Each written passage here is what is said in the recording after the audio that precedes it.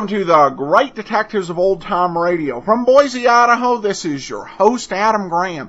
If you have a comment, email it to me, box13 at greatdetectives.net.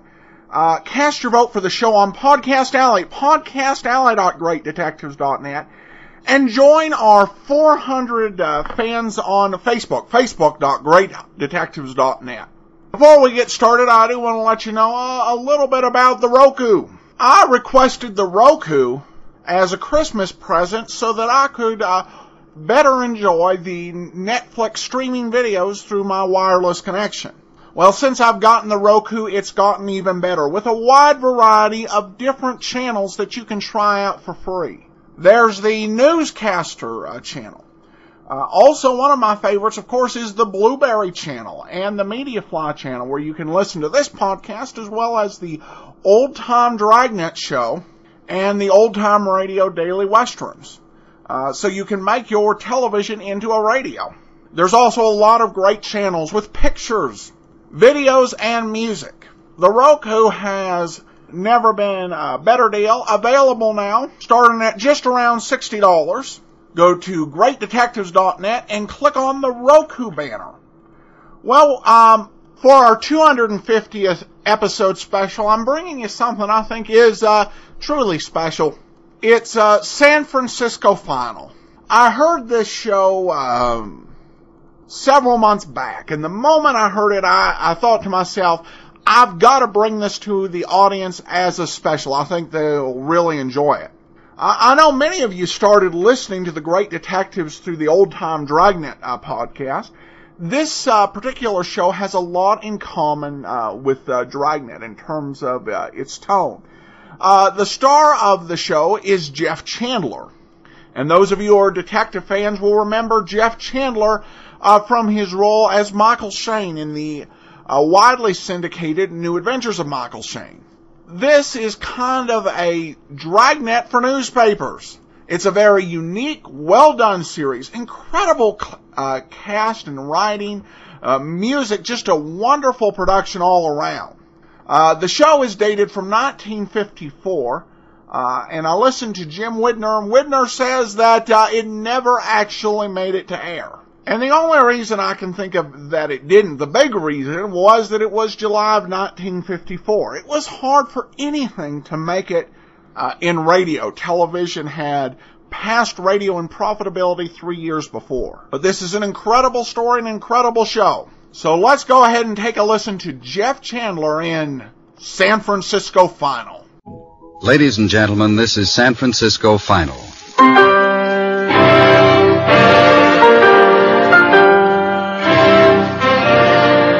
This is the story of a newspaper.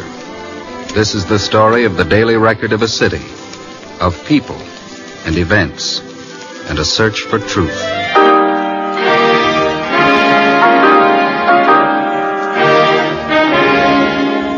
From the pages of the San Francisco Chronicle, a true story reported by Mike Rivera.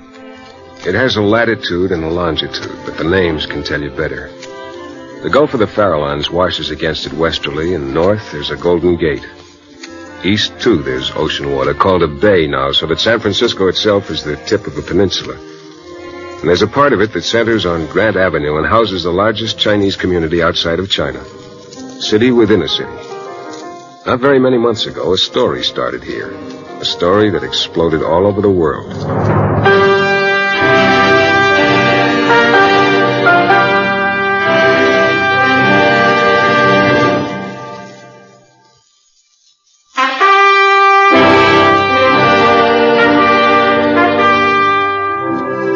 The fog tumbles over Twin Peaks from the ocean before it rolls up Mission Street.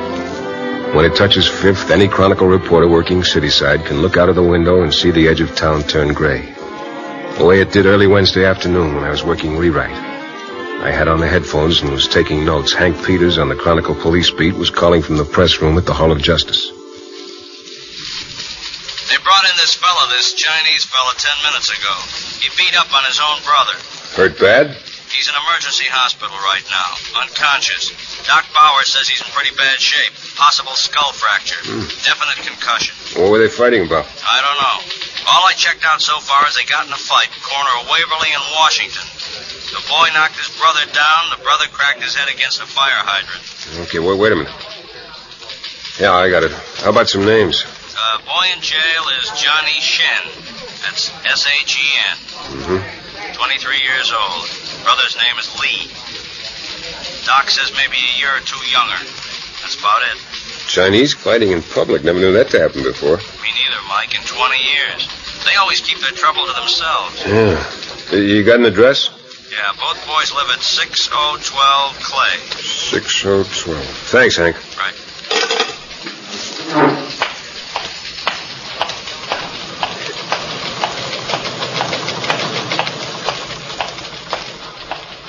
Thelma, give me the clips on a John Shen or Lee. Just a minute. What do you want, Mike? Clips on John Shen or Lee Shen. S H E N, if you have any. You're right. John Shen? And Lee. Well, I got one for both brothers. Same, same story, Mike. One clip for each. Yeah, let's take a look. Sign me out for these, will you? Yeah, sure.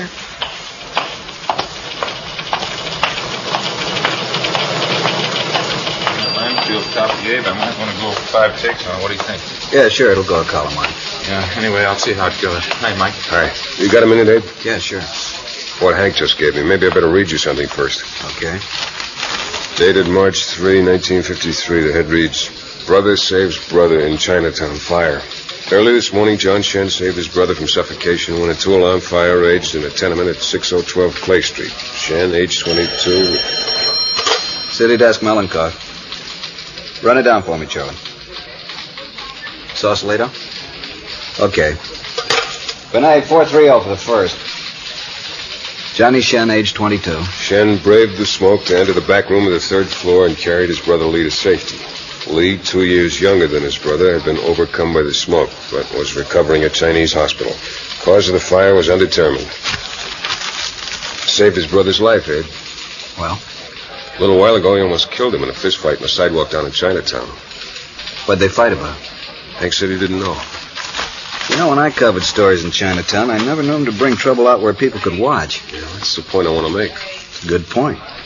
I'll go talk to Johnny. All right. Can Art handle those two stories I have hanging rewrite? Yeah. You say Johnny almost killed his brother? That's right. When you write it, try a new approach on it. It's been covered before. What do you mean? Genesis chapter 4, verse 8. Cain and Abel.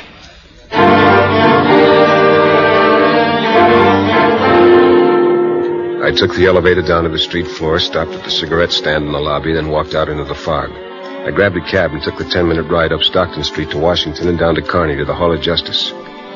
At the end of the second floor corridor is a room marked Chinatown detail. I went in. Sergeant Lou Morrissey was at his desk. I told him I wanted to talk to the Shen boy. McKelvey will bring him right down. Thanks. You heard anything more on his brother? Doc says critical. Why'd they fight? Who knows? You talk to him? I brought him in. He hasn't done anything but sneer since I picked him up. She got any record? Mm-mm. No, he's got a job. His boss says he's a fine boy. Show you something, though.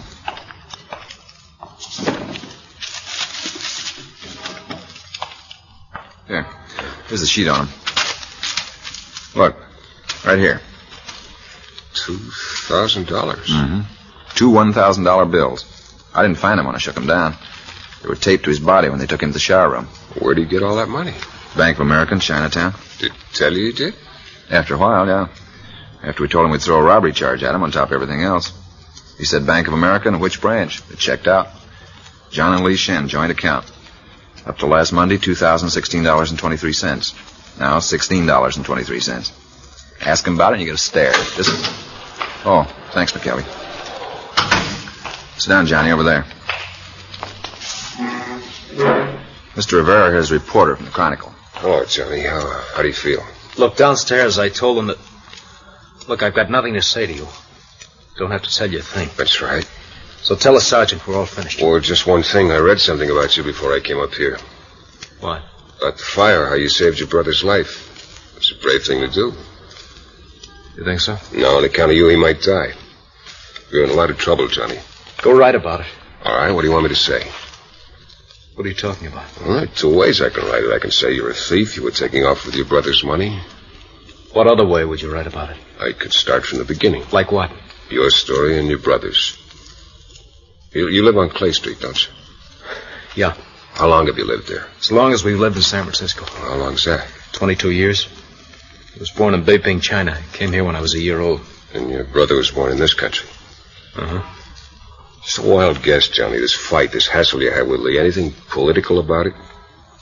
Political? Yeah, you know, Red China, National. No. Where'd you go to school? Chinatown. Nam-Q school? Lee did, not me. Just plain public school. Tell me about the two $1,000 bills. I drew them out of the bank. Why in $1,000 bills? Easy to carry, not bulky. Look, Yeah? get me out of here. I want to go back to my cell. Okay, Johnny, let's go. Why all of a sudden, Johnny? We were getting along fine. Get me out of here, Sergeant. Well, wait a minute. Maybe I can help. Maybe. Johnny, if your brother dies, you might be charged with murder. I want to go back to my cell. Mike? Now, you just want me to write it any way I want to. Is that right, Johnny? Any way you want. Kelby. Take him upstairs. Well, not much of a story, huh, Mike? Brief's always a story. Thanks a lot, Lou.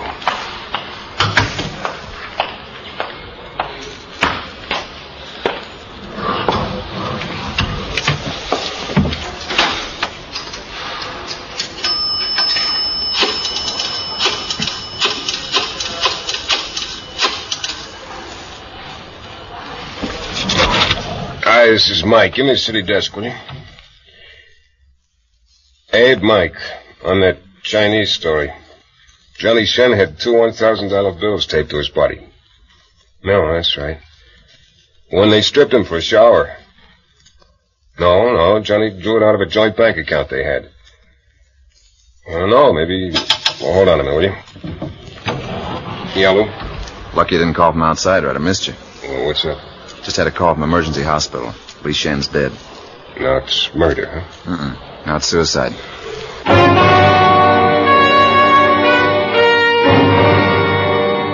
He told me Lee Shen had leaped from his hospital room window and killed himself. I gave it to Art Hoppy on rewrite. I told him I was going to check out the boy's family. It was a short walk from the Hall of Justice to the tenement at 6012 Clay Street. The Shen apartment was on the third floor, second door of a corridor where last year's fire had been charred into its walls and still showed.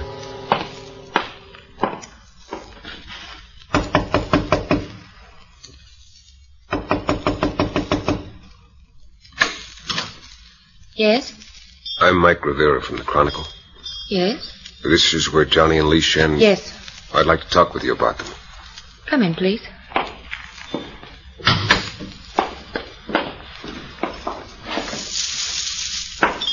This is my mother, Mr. Rivera. Good evening. Ah, Washington. My mother speaks only Chinese. I see. Uh, Miss Shen, are... Lại, coi bingo, one mất here. San Man Phong si, um ji wa mat. Ah, một coi, một coi á. My mother wants to know what you want. Your being here disturbs her. Earlier there were police. I want to talk to you about your brothers. I'd like to know what... gì, coi gì chinga na. Hai bên chị. She wants to know about the $2,000. If you have it, she wants you to give it to us. I told you as a newspaper man, the police have... À coi chị. Mama, Chan King, police. Ai... Rồi lại, coi la phản.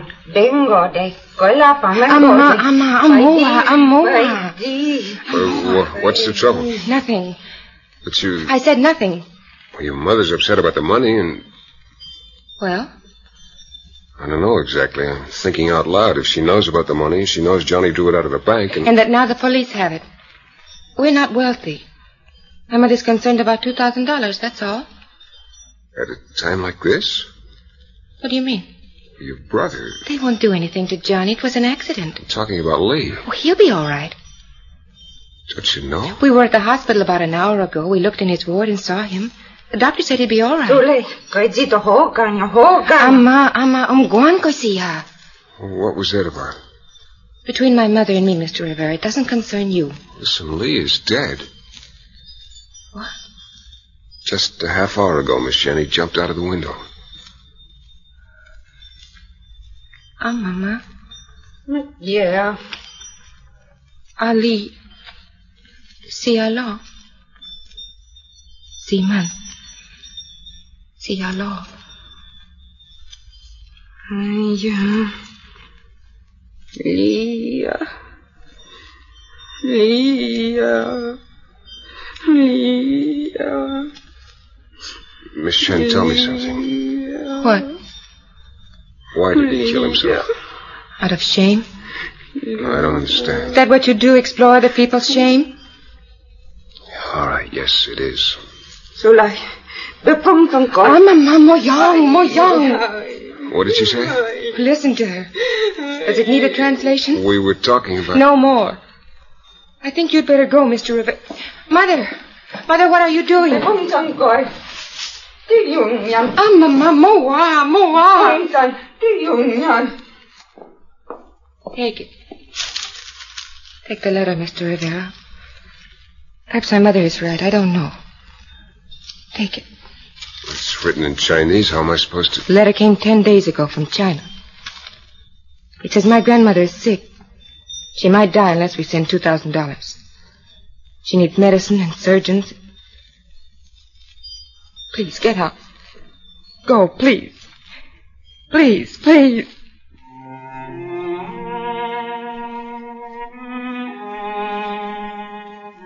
She went to her mother, took her hand. They turned their backs on me and moved to a place where a candle burned against carved brass.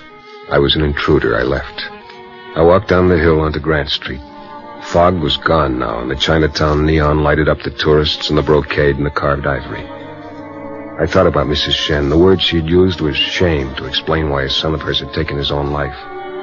Then about the letter from China, then the two $1,000 bills, and Johnny Shen's defiance. But mostly the letter from China.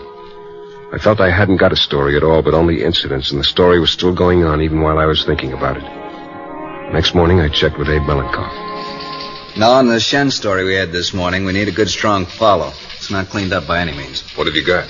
Here. Been waiting for you to come in to show it to you. Financial gave it to me a little while ago. Chinatown Bank reports minor run. A period of 60 days, over $2 million. Withdrawals from 500 to two, 3,000. What do you think? I'd say Johnny Shen had company. If you take pencil and paper, you can figure he had practically all of Chinatown for company. How come all those people need all that money all at once? It's a good question. I got another one. What? Wonder if it's happening in other Chinatown. I'll call down to L.A., talk to Cassell, ask him. I'll have it put on the Times Wire, find out what's going on in New York. West Falls in Baltimore. He can check out Chinatown there. I'll get a reading on Chicago and Boston and Philly. It starts with a street corner fight, and we call all over the country. This keeps rolling, it can be quite a thing. Already is. Her mother's been told her son's dead.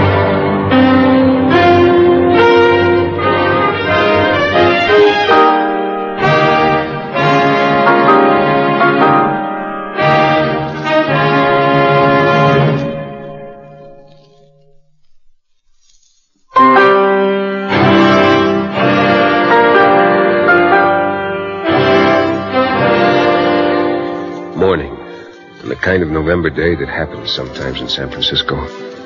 Sunlit city and strands of cloud. November winds and freighters from the tropics tied up at the Embarcadero. Ten o'clock of a November day and pick up the home edition of the Chronicle. Crease it lengthwise and consider headline first as concerns a Senate investigating committee. And then the current communique about the current war. And spliced between the two of them, the death of Li Shen. Continued on page six. Now more legwork to be done. On Stockton Street in Chinatown, number 5143, house of the Chinese Community Service Union. Overlords of local Chinese affairs. All powerful, all discreet, all knowing. Tin Young saw me come into the office, looked at me for a minute, then beckoned me over. I'm fairly busy, Mike. You come at not a very good time. I want to talk to you, Mr. Young. Not that I mind, for surely you must have a reason. I have, Lee Shen. That's not a reason. The way he died and why he died. You already know that. We wrote what his sister told me. Lee killed himself out of shame. We wrote it, but didn't understand it. And for that you've come to the Chinese Service Union? Because you don't understand the word shame? Because the Chinese Service Union runs Chinatown and its people and everything in it. If you want to know anything, that's where you go. I'll state it for you, Mike, gladly. Li Shen jumped out of the window because Johnny Shen wouldn't give him grandmother money. It's a type of culture. Then you know about the letter the Shen family got from China. Mike, Mike. And the run your people made on the bank here in Chinatown. You know about that, too. Why? Why are they doing it? Mike. Why, are there other letters from China saying somebody's grandmother is sick and please send a couple of thousand dollars to make her well? Is that what's happening? Listen to Or me. maybe if I put it this way, blackmail. Blackmail I'm on a scale to that... tell you something. Go ahead. Give me the official statement of the Chinese Service Union. I'll listen, I'll write it. and- This you will not write. What you're saying I'm is... saying this is our statement. It concerns no one. Except the people in this community, except the boy except who... the boy who is dead because of the letter. Official statement as to you. What I've been trying to say to you. Don't make more people die.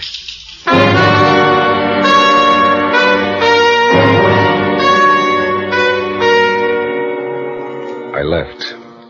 Follow up now. I walked down to Grant Avenue the 900 block. The Chinatown branch of the Bank of America said they'd cooperate and furnished me with a list of the people who'd made sizable withdrawals during the bank run. I started to check it out. Alka Chuen, 412 Jason Street. And be told that Mr. Chuen was away on a business trip, couldn't be reached. Then two doors down, Tom Shu, too busy to talk to anyone now. Next, around the corner to see Yu Ching, 108 Spofford Street, and the child on the sidewalk said no one was at home. And it went like that. It was mid-afternoon when I walked into Sam Shang's curio shop.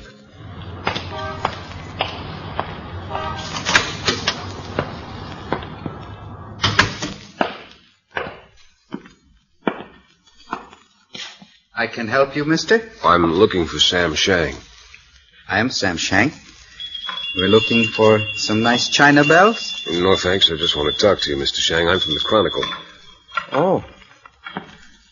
You want good Chinatown story? You will mention the shop of Sam Shang? Sure, sure I will. Thank you. Many stories of Chinatown. Many, many. Did you know Li Shen? Johnny Shen? Mr. Shang, something else I want to ask you. It's personal. Maybe I have no right. I cannot know until you ask. A couple of weeks ago, you withdrew $1,200 from the bank. A lot of other people took their savings out, too. My paper wants to know why. You have talked with these other people? I've tried. So far, I haven't been able to. And you ask this personal question of Sam Shang? Mm-hmm. But only because something's happening here that we don't understand. Why a boy killed himself after his brother beat him up. Why so many of you... Also, you have talked with the Chinese Service Union. Yes, I have. And they told you. What did they tell you? I could tell you they said for you to talk to me. But you will tell me what they truly said. That it was none of my concern. That Li Shen was dead because of a letter from China. That others might die. Including you? I got that impression. If it is the wisdom of the Chinese Service Union. Yeah. Yeah, wisdom. Your people being bled of every dime, of every dignity, they. Thanks, Mr. Shang. Wait. Yeah. I had such a letter two weeks ago. Such a letter as was received by Mrs. Shen, the mother of Lee. Go on. It was from my sister. From Canton, my sister said she was very sick of a disease of the eyes. That she needed what monies I. I sent her twelve hundred dollars. have you. Three days ago, I have received another letter from Canton. It wrote of something I did not know. What? My sister has been dead for a year.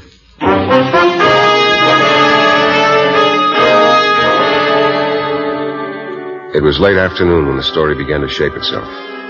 Just about the time the first edition was being trucked down the peninsula, there was a phone call from Cassell in Los Angeles. Maybe it's nothing at all, Mike. What have you got? Just yesterday, a suicide. A Chinese named Ho Liang swallowed poison and died quietly in a restroom at Union Station. Why'd he do it? Your guess is as good as mine, but this is the first suicide down here in Chinatown in 23 years. Well, anything on why he killed himself? No suicide note, if that's what you mean. Mm-hmm. But there was a letter on him. From China? That's right, from Swatow asking for $500. Who would die unless the money was sent? His uncle from cancer, the letter said. How'd you know about it? We get mail here, too. Thanks a lot. Hey, Yeah? what's it all about? I don't know yet. No, I'm not writing for the papers anymore, Mike. What's it all about?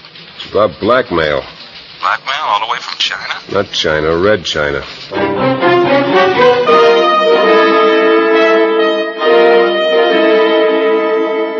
The next day was Wednesday, and the third item on the New York Times teletype told of a small run on the Mott Street Bank, the one most patronized by Chinatown. And later, a similar item from Chicago. Nothing from Boston, but in the afternoon there was a phone call from Baltimore. A man named John Tu Kuo had robbed a supermarket of over $500, the first Chinese involved in a felony in Baltimore for over five years. Tu Kuo gave himself up three hours later, but refused to say what he had done with the money. The pattern was clear. I went back to Mr. Young of the Chinese Service Union. Tea? No, thanks. You won't mind if I do. Mm. Mr. Young, The tea isn't very good. listen. No, I- you listen, Mike. I enjoy making comments, so indulge me. The tea isn't very good. I'm sorry. That's better. The pleasantries have been taken care of. Now you can talk to me. These last two days, been knocking on doors and asking questions and getting no answers. not quite. Getting answers. Some. Not very good, you understand, but not bad. I can remember. You want to hear some of the answers? You're being rude again. Oh, let's get off it now, Mr. Young. I'll stop bowing my head and you stop being so colorful. It is time for that, isn't it? I would say so. Tell me what you know. There was a run on the Chinatown Bank here in San Francisco. There was one in New York and In Chicago. Boston, too. We got no word from there. It probably wasn't noticed. It's not a very big colony. In Baltimore, a man named Tu Kuo committed grand theft. He sent the money to China and ended his life by going to jail. True. I've heard. Down the street, Sam Shang got an anguished letter two weeks ago, supposedly from his sister in China, except she's been dead for over a year. Also true. And where it all started, as far as I'm concerned, the Shen family. Lee killed himself because his brother wouldn't let him send money to China. He died because he believed he was forsaking his grandmother.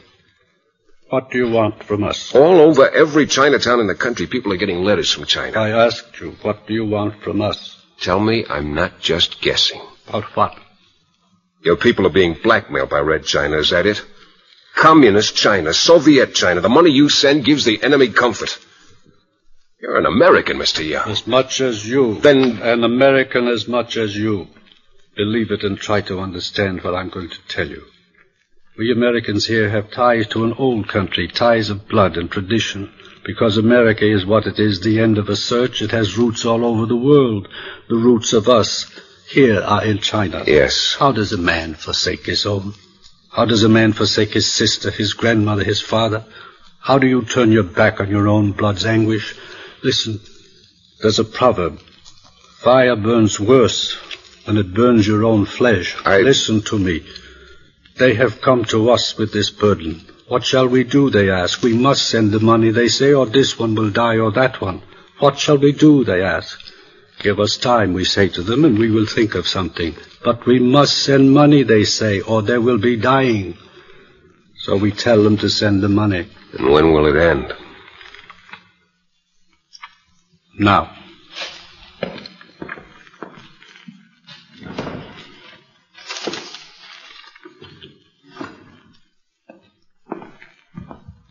These papers contain names and addresses. Families here in Chinatown who have gotten letters and who have paid ransom. The blackmail is more than two million dollars, Mike. It's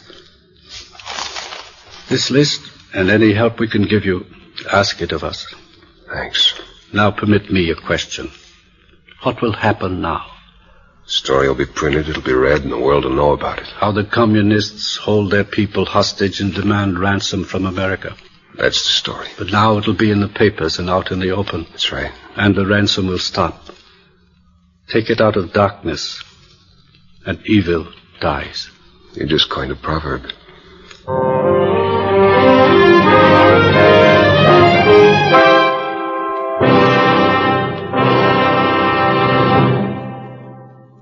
This has been a true story from the pages of the San Francisco Chronicle. In a moment, the story's follow up.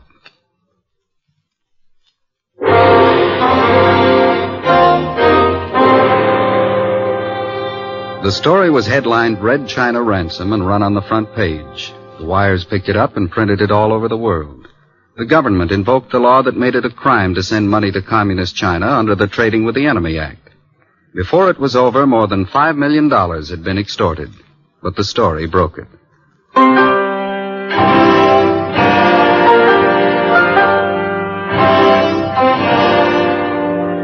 San Francisco Final stars Jeff Chandler as Mike Rivera. It is written and directed by David Friedkin and Morton Fine and produced by Michael Meshekoff. Music is composed and conducted by Walter Schumann and arranged by Nathan Scott.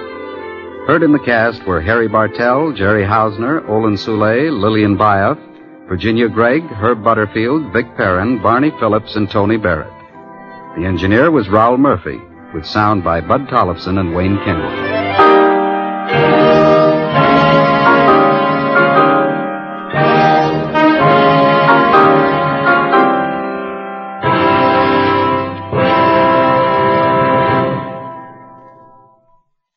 Welcome back. Now, this was a radio tour de force with just so many great radio veterans in there. And that ending I thought was just incredibly uh, moving. It was an incredible story. And I can't help but thinking if this show had been made, say, uh, four or five years earlier, it would have lasted a season or two. This was just top notch work. Uh, the Dragnet feel, you defin- I definitely felt it. Um, so many people were involved in this, including Walter Schumann, who uh, did the music for Dragnet in San Francisco Final, as well as a lot of the actors. And Jeff Chandler uh, was actually uh, good friends with uh, Jack Webb as well. And the two uh, worked together with Webb doing guest work on the uh, new adventures of Michael Shayne. Well, I hope you've enjoyed this episode, our 250th episode special. We'll be back on Monday with Box 13. Uh, in the meantime, send your comments to box13 at greatdetectives.net. Follow the show on Twitter at Radio Detectives. And give us a call by voicemail, 208-991-4783. From Boise, Idaho, though, this is your host, Adam Graham, signing off.